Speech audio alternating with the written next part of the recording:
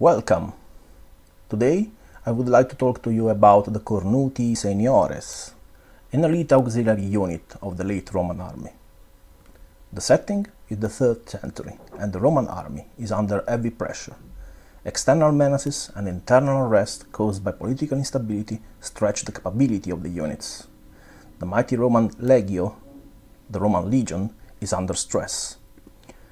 The Roman legion is an heavy infantry unit, 5,000 men strong, deployed usually along the border of the Roman Empire to guard the, mm, the, the coming of uh, external forces, but is also used for uh, um, field uh, campaigns against the enemy in attack, or in this period to further the uh, ambition of some usurpers against the central uh, Roman emperor.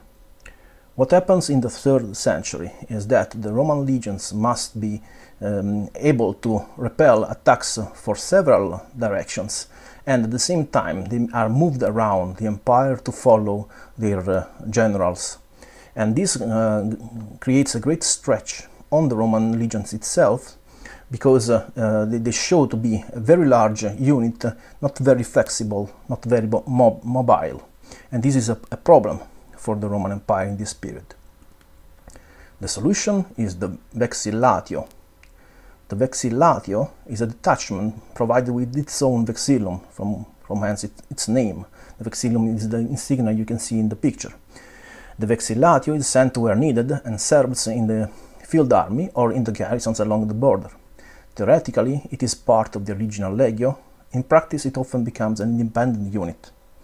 The legiones become smaller and smaller, from 5,000 to 2,000 men or even less, and sometimes disappear. In this period, the, the need for large number of smaller units arises, and they should have the capability to perform several tasks with high mobility and versatility. In the West, Auxilia Palatina units are born. An auxilium palatinum is a compact unit, about 500 men, the size of a course. It is employed as infantry on the battlefield as light infantry with missiles capability and in special operations. It belongs to the Comitatus, the imperial field army commanded by the emperor or later by the Magister Militum. It is a unit of elite status and originally it may have uh, had an ethnic connotation.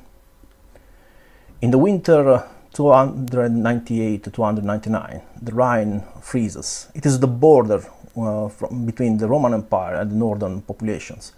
Alemanni warriors cross the river to plunder the territories of the empire, and troops of the Caesar Constantius Chlorus, Constantine's fathers, repulse the Alemanni.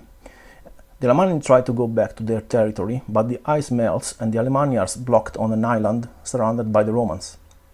The Romans uh, and the Alemanni reach an agreement. The Romans will let the Alemanni return their homes in exchange for the provision of several warriors that will serve in the Roman army. We do not know when the Auxilium Palatinum of the Cornuti was formed. They are the unit with the highest seniority among all Auxilia Palatina in the West and they were probably among the four auxilia palatina levied by Constantius Chlorus among the Alemanni in the late 3rd century, during the case of the frozen uh, river.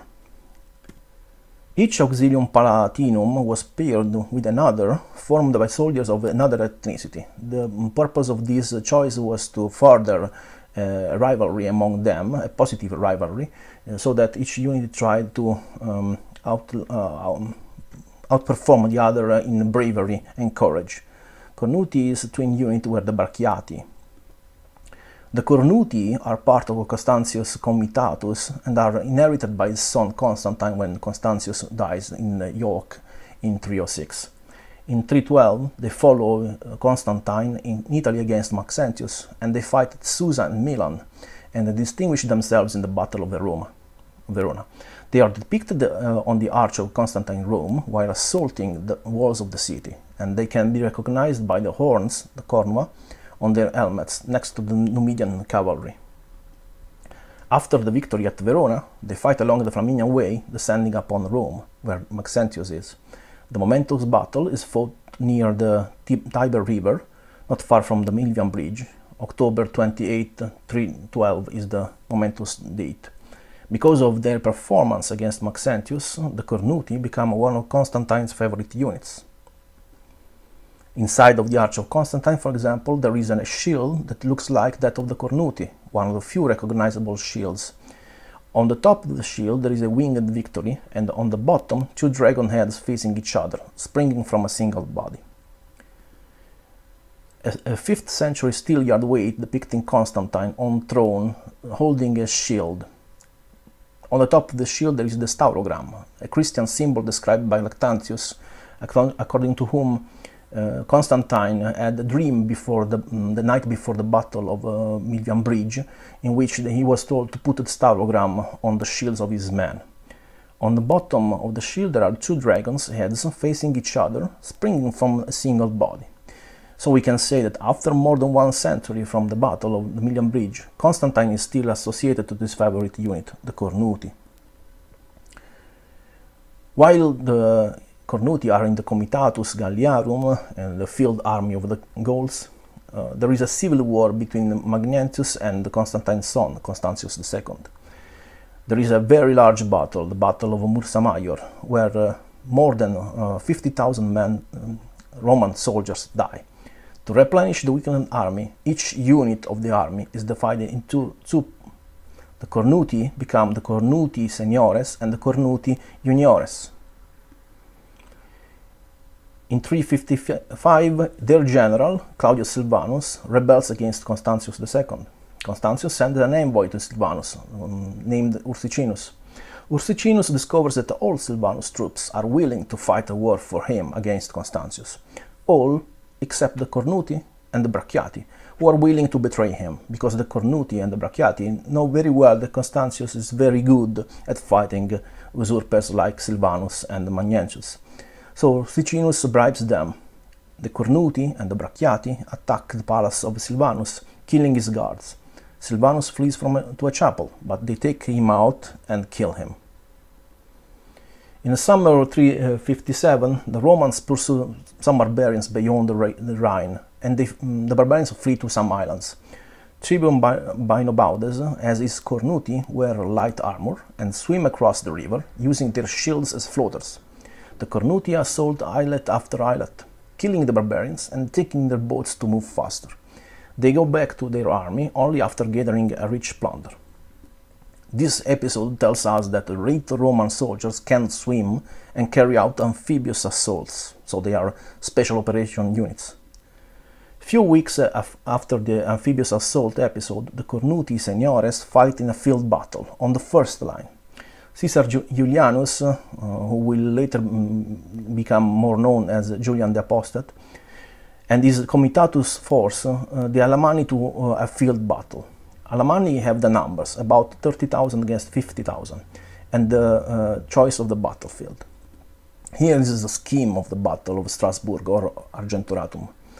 On the top, the Alamanni, uh, and on the bottom, the Roman uh, units deployed on the first line with the legions and auxilia, and uh, a second line again with uh, legion and auxilia in the center, a left wing with the auxilia, and the right wing with all the cavalry.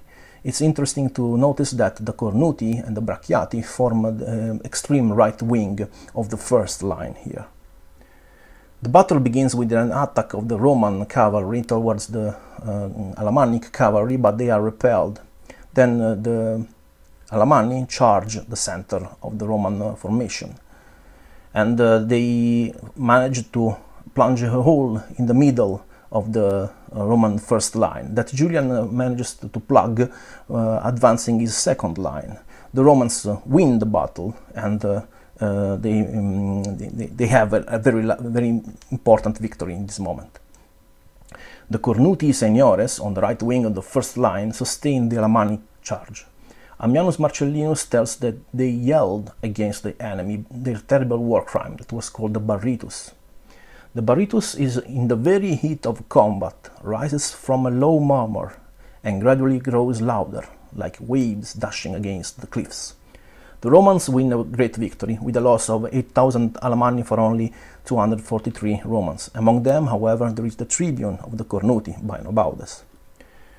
In 376, a multitude of Goths crosses the Danube, spreading in the plains. Two years later, they will uh, um, inflict a, large uh, defeat on the Romans in Adrianople. But in the summer of 377, the Cornuti are outside the town of Dibaltum on the coast of the Black Sea, together to the Scutarii cavalry guards of tribune Barzimeres and few other infantry units. The Romans are attacked by the Goths, while outnumbered, they repel the attack and wait for the darkness, uh, hoping to survive the day. But suddenly, more Goths arrive behind the Roman lines and kill most of them. Interesting detail that according to Ammianus Marcellinus, uh, the Romans, when they were attacked outside the city before sunset, they were building their camp for the night, and for this reason they were still in arms, according to ancient Roman military dispositions. At the end of 4th century, both Cornuti seniores and Cornuti juniores belonged to the comitatus of the Magister Peditum per Italiam. In an inscription in the catacombs of San Valentino on the Flaminia records the presence of a, in Rome of a Cornuti soldier in the first quarter of the 5th century, but later the Cornuti were transferred in the east. The Cornuti seniores belonged to the comitatus of the Magister Militum Presentialis, the top-ranking general of the Eastern Army, while the Cornuti Juniores are among the troops defending Constantinople in 413. We do not know when the Cornuti were disbanded, but we know they are back. This is a little uh, joke on the fact that uh, we, as an association, a reenactment association, we are reconstructing the Cornuti military and civil uh, capabilities uh, in our in our work.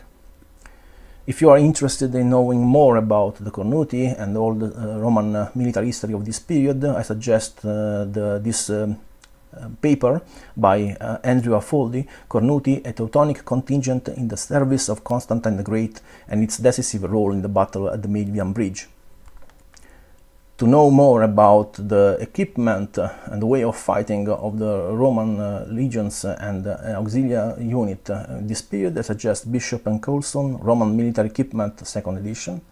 While for those who can read the Italian, I suggest Cascarino Sansilvestri, L'Esercito Romano, Volume 3.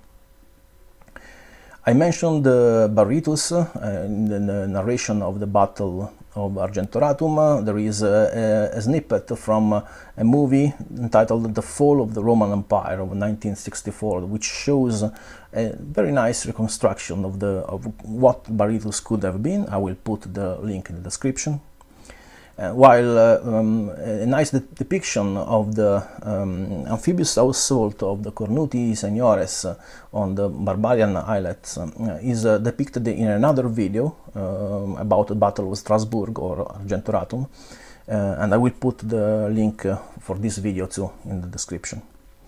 Finally, for those who are interested in our work uh, of our reenactment association, uh, I, you can check the website of the, our association, Suodales. Uh, here is the link. And thanks for listening to us.